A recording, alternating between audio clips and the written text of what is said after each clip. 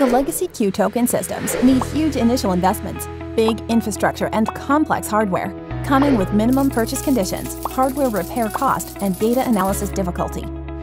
Scaling or downsizing for needs and also getting analytics to improve customer experience are difficult processes.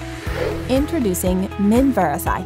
Minvarisai is a globally managed queue system with minimum hardware setup, easy relocation, zero maintenance, and easy setup. Issuing counter tokens in print, web, and QR code formats, Minvarisai can be established anywhere globally. Example, a company in London can set up their branch counters in India and monitor the daily customer queue easily.